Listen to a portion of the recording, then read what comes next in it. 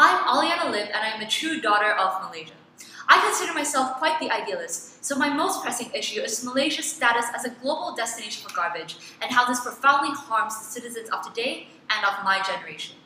Even at 14, I'm aware of the issues violating the rights of my people.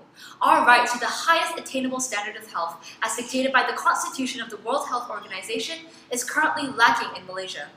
Compared to our neighbor, progressive Singapore, the air and environmental quality in Malaysia has declined vastly in recent months, something that the media has already connected to the rapid buildup of illegally imported plastic waste.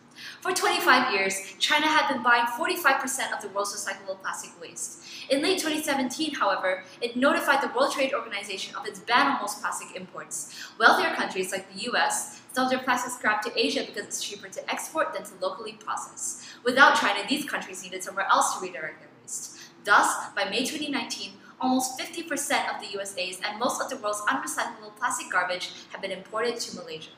The waste stacked up in Port Klang and swamped residential areas like Jenjarom and my state, Selangor. Further exacerbating the problem, illegal factories dispose of unrecyclable plastic by burning it.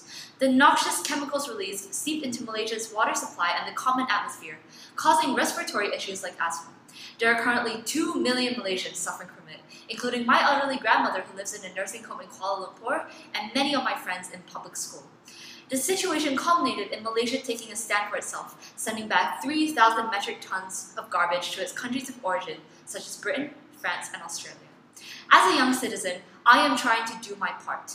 A campaign in my Selangor neighborhood against single-use plastic was recently launched, highlighting sea pollution and our unnecessary reliance on products like styrofoam containers and single-use bags. I participated in this through a speech competition themed Going Green. Also of great importance to me is increasing local awareness and thereby accountability.